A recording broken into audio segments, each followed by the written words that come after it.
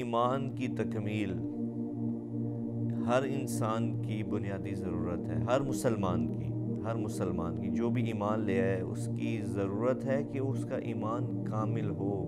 ईमान वालों में कामिल तरीन मोमिन वो है जिसके अखलाक सबसे अच्छे हैं। इश्क जो होता है किसी के साथ, किसी के साथ जो मोहब्बत है उसका सबसे बड़ा तकाजा यह है कि वो इश्क और मोहब्बत आपको उस शख्स की इतात पे लेके आती है फर्मा बरदारी पे लेकर आती है। लेकिन अगर हमें अल्लाह के यहाँ अच्छे नंबर लेने हैं, अल्लाह के नबी के, क़्यामत के दिन अल्लाह के नबी का सामना करना है तो मेरे मोज़ नाजरीन, बेहद ज़रूरी है, बेहद ज़रूरी है कि हम अच्छा बिहेवियर सीखें। और अल्लाह हमें तोफ़ी दे रहा हम गज़ा भी पहुँचा रहे हैं। अल्लाह के फजल करम से हमारा लिंक बन गया है, वहाँ भी हमारी इमदाद जा रही है। यहाँ जो हमारी फाउंडेशन है, उसके लिए भी ताउन की मैं दरख्वास्त करूँगा। कनाडा में भी हमारा दफ्तर है। कनाडा वाले वहाँ जमा करा दें। पाकिस्तान वाले हमारे तो लंबे में दफ्तर है, वहाँ जमा कराएँ। और खुल के जमा कराएँ। ये सारा आपका माल है जो आखरत में आपके लिए जमा हो रहा है। ज़क़़त भी हो ज़क़़त के ऊपर भी हो सदक़ात भी हों नफ, नफली भी हों फ़र्ज़ भी हों तो ये सब आपके खाते में जमा हो जाएगा। अपनी ज़क़़त और अपने अत्यार मौलाना तारिक जमील फाउंडेशन को दें ताकि सही हकदार तक इसका हक पहुँचे। इंसानियत की मोहब्बत दिलों में समोए मौलाना तारिक जमील फाउंडेशन। बिसमीम वसलाम नबी अमीन वाली वसहाबी अजमाइन मेरे मोहतरम नाजरीन तकरीबन आधा रमज़ान गुज़र चुका है, आधा या उससे कम बाकी है। और हमारा ये सिलसिला भी चल रहा है, बीच में इनकता आया दो तीन दिन के लिए किसी मसरूफ़ियत की वजह से। तो मैंने शुरू से अर्ज़ किया था कि हम इस जो सेशन में वो उन अहादीस मुबारक का ज़िक्र करेंगे जिनका ताल्लुक़ खालिसता खालिसता अच्छे अखलाक के साथ है हसन अखलाक के साथ है, अच्छे किरदार के साथ है। क्योंकि मैं और आप इस बात पे पूरा यकीन रखते हैं कि मेरे नबी की बात से ज़्यादा बढ़कर कोई बात दुनिया में ऐसी नहीं है जो हमारे अखलाक और हमारे किरदार को बेहतर बना सके, ख़ूबसूरत बना सके अच्छा बना सके। तो आज की हदीस मैं आपके सामने पेश करता हूँ। बसमीम अन अबी हुरैरत रज़ियल्लाहु क़ाल क़ाल रसूलुल्लाह सल्लल्लाहु अलैहि वसल्लम अकमलुलमुमिनीन ईमानन, अहसनुहुम खुलुक़ा, व खियारुकुम लिनसाइकुम। तर्जमा आपके पेश खिदमत है। हज़रत अबू हुरैरा रज़ी रवायत करते हैं कि रसूलुल्लाह सल्लल्लाहु अलैहि वसल्लम ने इरशाद फरमाया, ईमान वालों में कामिल तरीन मोमिन वो है। ईमान वालों में कामिल तरीन मोमिन वो है जिसके अखलाक सबसे अच्छे हैं। और तुम से, और तुम में से वो लोग सबसे बेहतर हैं जो अपनी बीवियों के साथ बर्ताव में सबसे अच्छे हैं। मैं ये एक दफ़ा फिर तर्जमा आपकी खिदमत में पेश करूँगा। हज़रत अबू हुरारा रज़ी अल्लाह रिवायत करते हैं कि रसूलुल्लाह सल्लल्लाहु अलैहि वसल्लम ने इरशाद फरमाया, ईमान वालों में कामिल तरीन, मोमिन वो है। ईमान वालों में कामिल तरीन मोमिन वो है, जिसके अखलाक सबसे अच्छे हैं। और तुम में से वो लोग सबसे बेहतर हैं, जो अपनी बीवियों के साथ बर्ताव में सबसे ज़्यादा अच्छे हैं। अल्लाह अकबर। मैं हमेशा आपसे हर वीडियो में यही अर्ज़ करता हूँ कि अल्लाह के नबी की बात से ज़्यादा खूबसूरत बात इस कायनात में किसी की नहीं हो सकती। हर हदीस ही, एक हदीस भी हम ले लें तो पूरी ज़िंदगी का गुजारने का तरीका अल्लाह के नबी ने उसमें बता दिया। अब आप देखें, ईमान की तकमील हर इंसान की बुनियादी ज़रूरत है, हर मुसलमान की, हर मुसलमान की, जो भी ईमान ले आए, उसकी ज़रूरत है कि उसका ईमान कामिल हो। और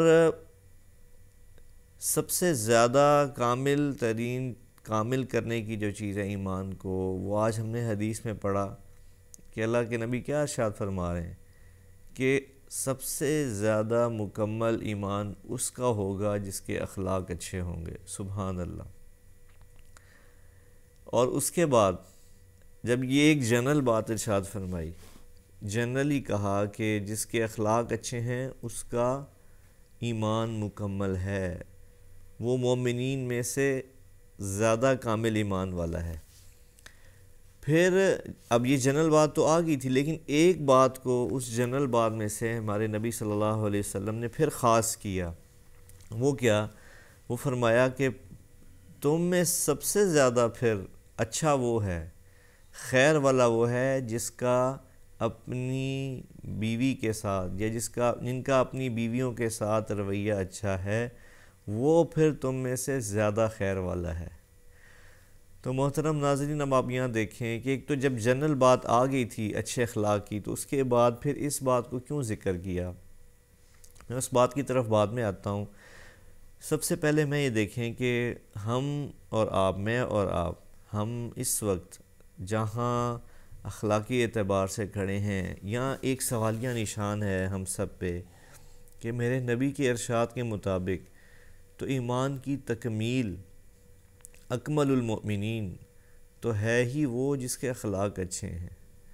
और बदकिस्मती से आप देख लें कि इस वक्त हमारी ही, हम जो उम्मत मुस्लिमा हैं, हम जो उम्मत मोहम्मदिया हैं, अल्लाह के नबी की उम्मत हैं। मैंने एक शुरू में बात की थी एक सेशन में कि हम इस चीज़ का दावा करते हैं कि हम आशिक रसूल हैं। और हैं, मैं इस चीज़ से हम, मैं कहता बिल्कुल इससे इनकार नहीं हो सकता कतन इससे इनकार नहीं हो सकता। लेकिन थोड़ी देर के लिए हम अपने अखलाक पर अगर गौर करें तो कहीं से ये नहीं लगता, कहीं से ये नहीं लगता कि हम आशिक रसूल हैं, माजरत के साथ। क्योंकि देखिए, मैंने उस उस दिन भी अर्ज़ किया था कि इश्क जो होता है किसी के साथ, किसी के साथ जो मोहब्बत है उसका सबसे बड़ा तकाजा यह है कि वो इश्क और मोहब्बत आपको उस शख्स की इतात पे लेके आती है, फर्मा बरदारी पे लेकर आती है। हम इश्क करते हैं, इश्क करते हैं, इसमें कोई दो राय नहीं है। अल्लाह का शुक्र है हम अल्लाह के नबी से प्यार करते हैं। लेकिन माजरत के साथ मैं अर्ज़ करूँगा कि इश्क काफ़ी नहीं है, इश्क काफ़ी नहीं है। हमें अपनी दुनिया की ज़िंदगी और आखिर की ज़िंदगी को बेहतर बनाने के लिए उस इश्क के साथ अमल करना बेहद ज़रूरी है।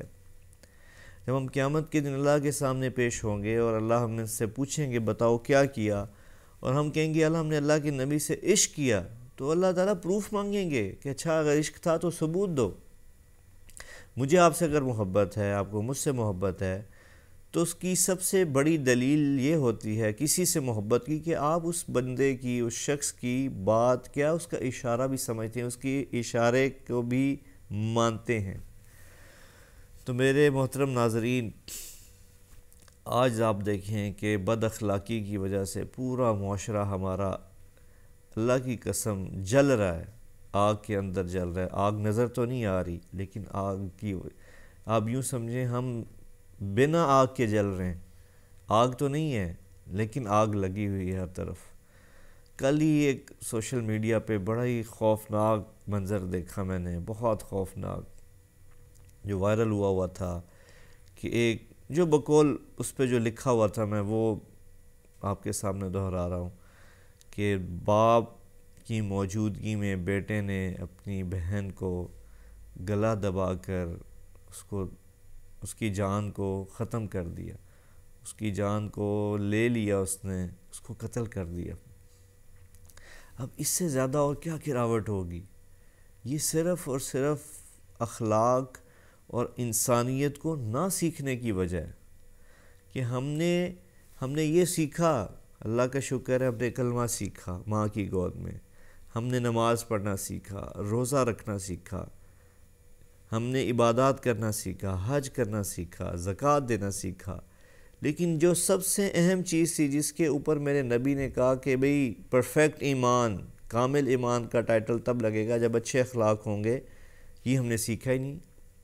अच्छे अखलाक का मतलब क्या? अच्छे अखलाक का मतलब ये है मेरे अजीज़ों कि हमें, मुझे बतौर इंसान, बतौर मुसलमान, किसी दूसरे मुसलमान, दूसरे इंसान से क्या रवैया करना है? क्या बिहेवियर करना है?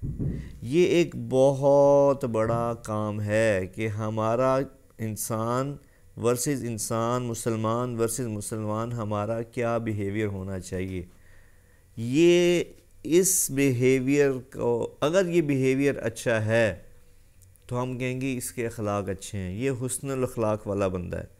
और अगर ये बिहेवियर ख़राब है, जो कि हम आजकल देख रहे हैं, आज के माशरे में, कि हर घर में आग लगी हुई है। आप देखिए, हर घर में नाचाकी, हर घर में ना इतफाक़ी कोई किसी से बात करके, कोई किसी के पास बैठ के राज़ी नहीं।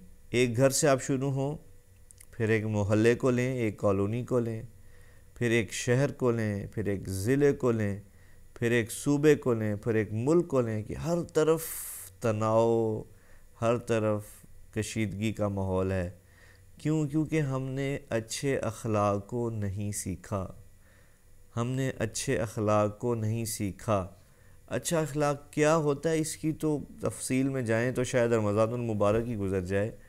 लेकिन मैं आपको इन शॉर्ट बता रहा हूँ कि बिहेवियर, बर्ताव, सलूक एक का दूसरे शख्स से हर इंसान का दूसरे इंसान से जो सलूक है, वो कैसा होना चाहिए, इसको अखलाक कहते हैं। तो मेरी आपसे गुजारिश है, मैं इन जो हदीस की दूसरी दूसरा जुज़ है, उस पर अगली वीडियो में बात करूँगा, लेकिन आज सिर्फ़ इसी मौजू पे और अपनी ज़ात को सामने रखते हुए कि देखें, दुनिया में अगर हमें इबादत के अलावा, इबादत का तो मामला अल्लाह के साथ है डायरेक्ट। लेकिन अगर हमें अल्लाह के यहाँ अच्छे नंबर लेने हैं, अल्लाह के नबी के, क़्यामत के दिन अल्लाह के नबी का सामना करना है तो मेरे मोज़ नाजरीन, बेहद ज़रूरी है, बेहद ज़रूरी है कि हम अच्छा बिहेवियर सीखें अच्छा बिहेवियर सीखें अच्छा सलूक अच्छा अखलाक सीखें। ना सीख सके तो अल्लाह की कसम, हमारी दुनिया में भी कोई कीमत नहीं है और आखिर में भी कोई कीमत नहीं है। अल्लाह ताला मुझे और आपको अमल की तोफ़ी अता फरमाए। और अल्लाह हमें तोफ़ी दे रहा है, हम गज़ा भी पहुँचा रहे हैं। अल्लाह के फजल करम से हमारा लिंक बन गया है, वहाँ भी हमारी इमदाद जा रही है। यहाँ जो हमारी फाउंडेशन है, उसके लिए भी ताउन की मैं दरख्वास्त करूँगा। कनाडा में भी हमारा दफ्तर है। कनाडा वाले वहाँ जमा करा दें। पाकिस्तान वाले हमारे तो लंबे में दफ्तर है, वहाँ जमा कराएँ। और खुल के जमा कराएँ, ये सारा आपका माल है जो आखरत में आपके लिए जमा हो रहा है। ज़क़़त भी हो ज़क़़त के ऊपर भी हो सदक़ात भी हों नफ, नफली भी हों फ़र्ज़ भी हों तो ये सब आपके खाते में जमा हो जाएगा। अपनी ज़क़़त और अपने अत्यात मौलाना तारिक जमील फाउंडेशन को दें ताकि सही हकदार तक इसका हक पहुँचे। इंसानियत की मोहब्बत दिलों में समोए मौलाना तारिक जमील फाउंडेशन।